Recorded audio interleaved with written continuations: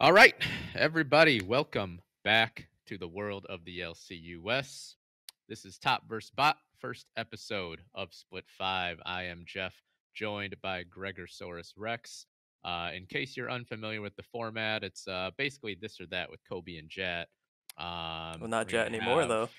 Yeah, R.I.P. Jatt, uh, the original best caster.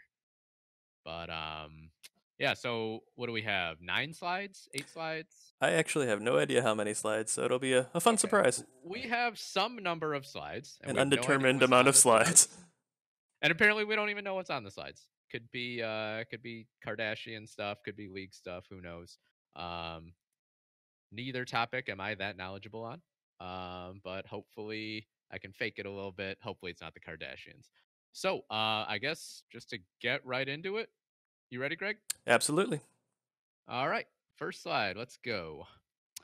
So, um, Worst button to break Q versus R. That's hmm. Oh, I'm like trying to go over every single champion. Yeah, it's, it's like it really depends on your champion, right? Yeah, right? Um I mean, I guess I guess I would say R or no, I would say Q. I would say I'd rather have R break because if Q breaks, you're screwed like for a lot of champions level 1. If R breaks, like, you know, you can maybe still work around it. Um doesn't I- affect your early game.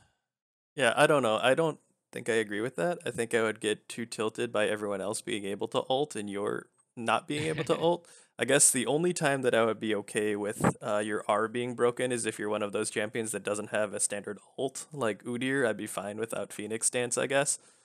Um, Yeah.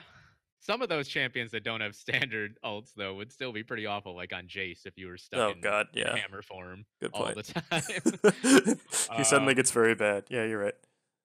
but at the same time as Jace, if you don't have Q, then you can't shock blast or jumpy hammer, whatever the name of that ability is. Right. Um Oh man. Yeah, I think I'm gonna say I would rather have my R break, but depends so much on the champion you're playing. yeah, I think I'd probably go with Q. So I guess that would be top. So Yeah, actually, I think I see your point there because if Q is broken, then you can uh, sort of choose your champion according to maybe who doesn't use their Q very much. hmm Yeah, that's true. Okay, so I'm not gonna sell out though. You you made a good argument, but I'm not gonna copy you. So, That's fair. but- Okay. but I will acknowledge that that you have a compelling argument, sir. All right. Um, next slide then. Better position for shot caller, jungle, or support. That's support, Mm, right? I think yeah. that's support. I don't know what else it would I be. have I have selected that icon so few times in my life that I don't even recognize it. That's the only icon I do character. recognize, so it's probably probably support. Um, well, do you want to take the lead on this one? I can. Um, which would I rather have as a shot caller? I think would probably have to go with jungle. Uh, I feel like you are gonna have a better view of the overall map and the position of the enemy jungler if you're doing your job right and tracking it. Whereas from support, you can kind of do that, but you're also kind of paying attention to your lane and your fighting in 2v2. Uh, as a jungler, unless you're doing something terribly wrong, you don't need to pay too much attention to auto attacking the Gromp, for example. Mm-hmm. So that's why I'd probably go top for this one with jungler. Yeah, I agree wholeheartedly. I got to go top as well uh, for jungle. That's sort of confusing um, word choices there, but yeah, for me, jungle um, definitely the best position because you not only have the ability to, you know, I mean, you're literally a global presence. Mhm. Um, you know, I mean, supports roam a lot these days, but not at the same level as junglers do. And like you said, I like the point you touched on. Um, with junglers probably being the most familiar player with what the other jungler is doing, um, which is going to be very helpful. And supports have to worry about their own thing in lane. I mean, Mhm. maybe less so than an AD carry or a mid laner, but I mean, you still got to dodge hooks and things like that as Right. support. As a jungler, like you said, while you're just auto attacking the Gromp, I mean, really the only thing you have to worry about is is the other jungler about to come kill me? Um, so yeah, for me, junglers they're more aware of just what every position is capable of, how everything's going globally. Um, definitely I would go with top on this one. So we're in agreement. All right. We are indeed. All right. So for slide three, better position change. Um, two option 12 situations. Fat Lee from the jungle to the AD carry, and Shaken Not Stirred from top to mid. Um, so are we saying better position change for the team, I guess? Like which one is going to be more successful? Mm, I th- think so. I don't. I are, are you saying like on an what we're going individual basis? Uh, probably the team. Otherwise, why would they do Yeah, two 12s? I don't know. Okay. Ace, help, Ace. All right, so let's go. Uh, let's go for it as which one will lead to more team success, hmm um, compared to maybe what they would have been in the previous position. Yeah. Um, and for me, I guess, I mean, it's it's not meant as a slight whatsoever. Um, it's honestly sort of a compliment, I guess. I would say shaken not stirred from top to mid will be the more beneficial change out of the two because I think shaken not stirred. Um, you know, he obviously has you know good lane mechanics. He's he's a solid player. He understands how to play a lane. Um, and for Fat Lee, it's not that I don't think he'll be a good AD carry. I just think he was a great jungler. And so I think taking him off of jungle, putting him somewhere else, is more likely to detract from what your team could have been than shaken not stirred making the change. Yeah, I agree 100%. I'm going bot with this one as well. Um, first of all, because as you mentioned, uh, Fat Lee is one of the best junglers, if not the best jungler. There's certainly some debate that could be had on that. Um, so it's just that much higher of a uh, pedestal that he's put on. And then when you move into any other role, naturally there's going to be a slight, you know, degrading there. So there's just that much more discrepancy that could be. Uh, the other thing I would mention is Shaken Not Stirred. When he was top, sometimes played like random things like Viktor anyway, so he can just play that mid and there's really no difference. Mhm. Even Sion mid is sort of a thing now, so I don't necessarily think there's going to be much difference at all there. It's basically not a skill change at all. So yeah, that's Mhm. probably going to be the the better for the team overall. Yeah, and not that Fat Lee might not be a great AD carry, Mhm, but he for was sure. just such a good jungler that there's more of a chance of a decrease in success. Absolutely, absolutely. All right, so next slide. We've agreed a lot. We have something's wrong. Something is wrong. God, mom and dad would have loved us to have been like this when we were It's uh yeah, never never actually happened. Mom and dad. Yeah. All Uh.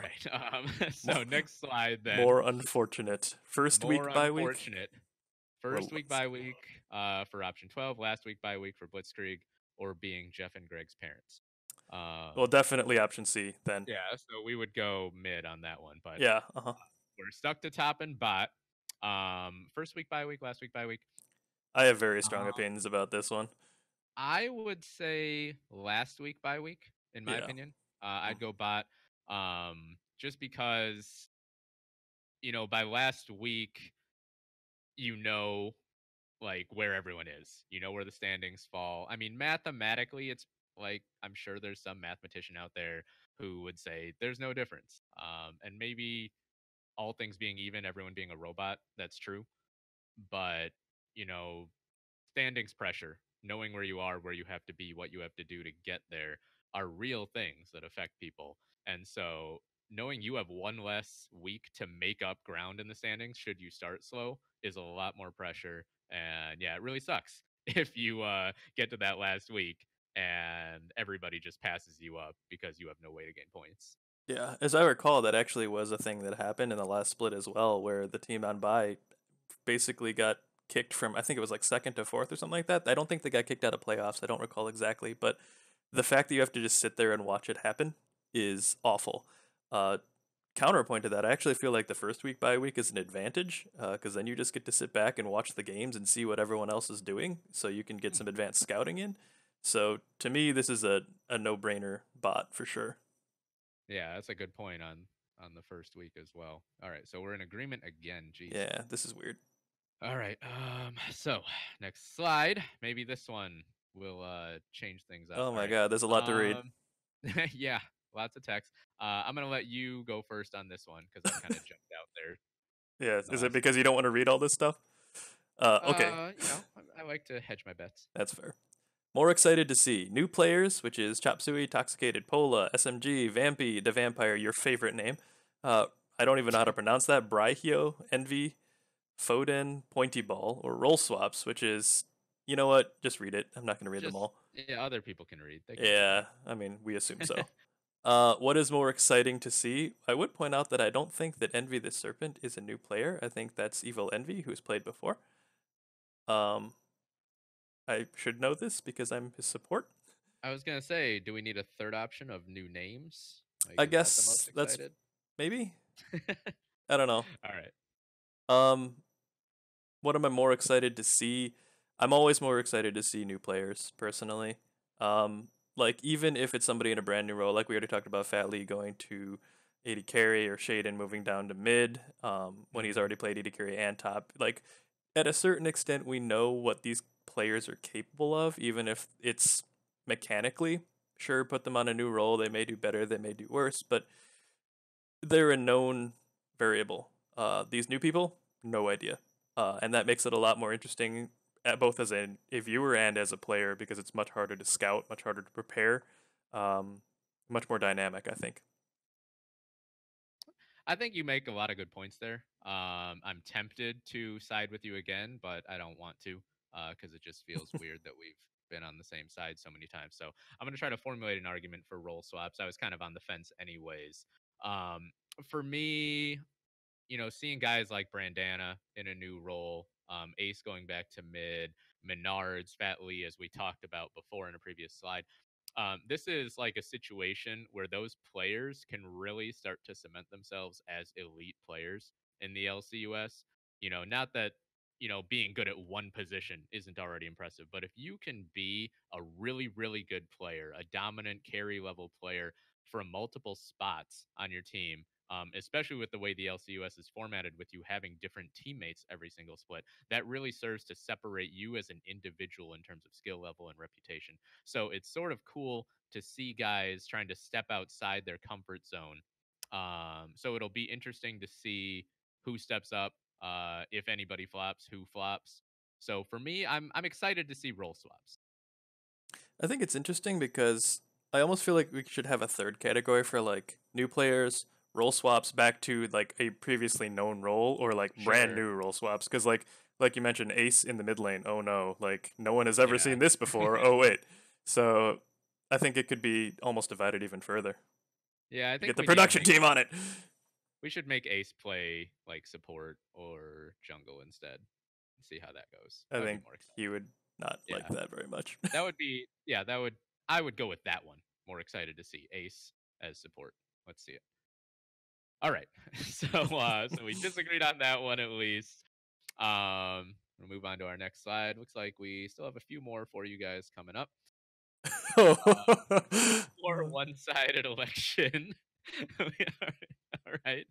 Um, so as I think most of you know, uh, Sigtal Lord was uh, elected commissioner. I believe he was the only candidate to begin with. So, um, I guess I got to go with bot on this one. I mean, because at least in Russia, like maybe there's some uh facade at least of competition whereas here in the LCUS there was there was literally no other candidate and I don't think even a write-in space See, uh, there was a write-in space.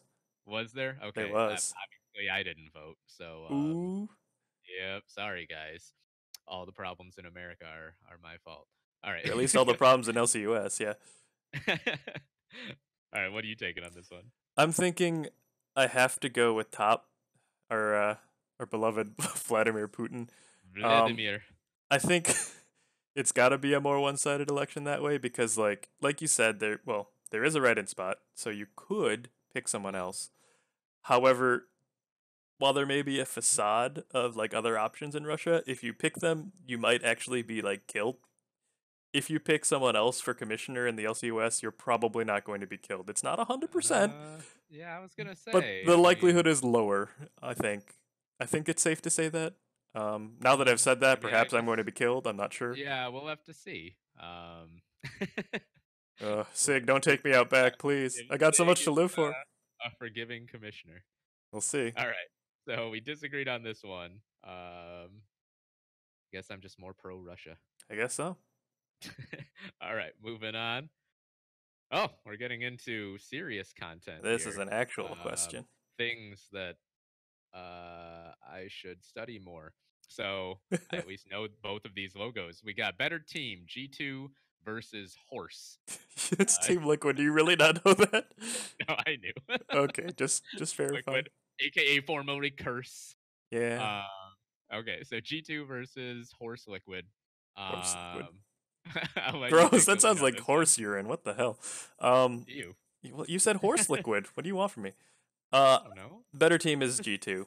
Uh, I don't like saying that as someone who lives in NA, but realistically speaking, like Liquid wins their games here. They win them well. G2 is there is no way to deal with that team because they have pretty much the best players in every position in Europe and arguably in the West in their roles. How do you deal with that? Their their macro is crisp. Uh, they fight really well. Like they can pick pretty much any champions into any comp and make it work. Uh, I the only thing that I can see going for Liquid versus G two is that G two is probably exceptionally arrogant, but I think they're probably the better team. Um, I'm gonna show my NA bias and my Doublelift fanboydom. Uh, that's not a word, but you get what I'm saying. And I'm gonna say liquid. Um, because I'm not looking at it as a head-to-head situation. Um, if they played head-to-head, I'd probably give G2 the advantage because EU tends to just always beat NA in head-to-head. Um, but I'm looking at it as more more likely to be successful against the field. And I think that G2 they have really really good players um, across so many of their positions but i think that in general the eu macro game is less consistent um, it can pull on upsets on korean teams and things out of nowhere they can do really well especially with highly skilled players like caps um, but I think that Liquid has a lot of veterans on their team. I think that they are they still have a lot of room to grow too with CoreJJ coming in there. So I think if you put these two teams, um, you know, against say at a tournament like MSI, uh, where everybody's playing everybody, I think G2 might be Liquid, but I think Liquid is less likely to get upset by a team like freaking Gigabyte Marines or something like that. That's fair. Good point. All right. So one more, or are there two more? I'm not I sure. ahead. We'll find out. Next slide. Uh, next one up. Worst team. Uh, that that's Golden Guardians Golden um, Guardians and Rogue. and Rogue. Yes. Yeah, they're in LEC. Um, yeah. Um. Ugh. I honestly don't know much about Rogue. Um. They're Golden bad. Guardians has Froggen, so that's kind of cool. Even though I don't think Froggen's really that good anymore. Um, I guess I'm gonna go Rogue, um, because I like Froggen. but uh, clearly, I'm not gonna be too much help on this one. Yeah, that's NA bias. yeah. Rogue is worse, just like G2 is worse, just like Deficio is worse than Jatt. Um, I'm I'm done. Okay. I, was, I was just gonna let you keep going, see how far you could go. Um, I have to go with Rogue, uh, as the worst team. Um, well, actually, now that I think about it, no, I changed my mind. Golden Guardians is the worst team. Here's why. Um, G two, I feel like, as far as the best team in NA versus EU, like I think G two is probably the the number one between the two regions. However, the rest of the field in Europe is like there's like a couple really good teams and then a couple meh teams and then like a lot of frankly in my opinion very bad teams. Um and if a lot of very bad teams exist in the same region and then like one team can't sometimes pick up wins against all those other bad teams, then they must be the worst team logically. uh whereas Golden Guardians like maybe not so much the case in NA, unsure. Um plus, you know, Froggen. So, so you're wait. So are you going bot or top? you know, I changed my mind about four times during this. Um, you know what? Rogue. Rogue is worse. We agree. yeah. we did it. So we, we we agree again. We got back to uh to some harmony. All right. Next slide coming up. Oh my god. More boring to watch. FlyQuest versus CLG or the beloved Super Bowl of the world's favorite team, New England Patriots, against the LA Rams. Well, um do you want to go first on this one? Oh, I, yeah, I can. Um, here's the thing: they're both awful, absolutely awful. However, the more boring one to watch. See, I wish it wasn't the more boring one to watch. I think it's like worse to watch. Because if it was worse to watch, I would say the Super Bowl. Uh, because you watch the first the half. Outcome? No, it's it's because you watch the first half of it and you're like, oh, this is boring. Maybe at least the halftime show will be good. And you get excited that maybe it won't be awful, and then the halftime show is terrible. And then the second half of the game is also terrible. So like there was a break in the middle where like you got your hopes up and then you're depressed again. Whereas CLG FlyQuest, you're just depressed the whole way through. And there's no Adam Levine halfway through with the shirt off to possibly help. Um, although maybe that's a good thing. I don't know. The more boring one, probably FlyQuest versus CLG, but the worst one was the Super Bowl. Hmm. All right, we're going next level with the uh, with the analysis here. Oh man, such disappointment. Um, I guess I would go top. Um, I only watched highlights of that game to be fair, so I probably didn't get the full experience. But um, you know, I'm a big sports nerd, so seeing a defensive struggle in the Super Bowl wasn't as bad for me as it might be for people who uh, just like to see a lot of scoring. Uh, I think a, a football game where it's low scoring is still can still be exciting uh, because it just makes every first down and every big play that much more important. Um, but I don't want to get too much on my sports soapbox here. Uh, when it comes to FlyQuest versus CLG, um, I was disappointed in it because we didn't even get to see WildTurtle do something ridiculous and stupid, uh, which is like what I would expect to be the main source of excitement when you're watching a FlyQuest game. So I would go top on this one because I think, yeah, the Super Bowl sucked, but um, I was okay with it, other than the outcome. Yeah, I Um, guess- FlyQuest CLG, like, why do you even exist? I guess the other part of it is like when you're watching the Super Bowl, regardless of how it goes, you're going to be drinking with your friends and having a good time and, you know, that sort of thing. Whereas FlyQuest versus CLG just made me want to become an alcoholic. So I Wait, guess you, you you didn't throw a FlyQuest versus CLG party. uh, I did not. And if I had, I'm glad that I didn't. That would have been awful. Can you imagine? Oh my gosh. Yeah, no, No, I definitely can't- worse. I, I would not have come, but That's uh, shoot, I would have dodged out too myself. it's your own party. Yeah, that's how bad the game was. All right, so we agree. We do. Did we agree? I forget. I forget if you, you said Uh, one was worse and one was more boring. FlyQuest CLG was was more boring in my opinion. Okay. So All right. So we agree on top on this one. Yeah. All right. And uh maybe last slide. moving on to the next one. That's it.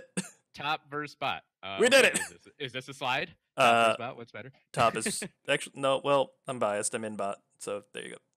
Yeah, Yeah, I'm gonna go bot because anytime I play top, I just have to teleport and save bot. Anyway, so- right? So it's like you're by proxy. You're there anyway. Okay. exactly. And the other guy takes ignite and solo kills me because I brought TP. It's all very upsetting. Not that you're salty or anything. No, no, not at all. No, very, very okay with how that works.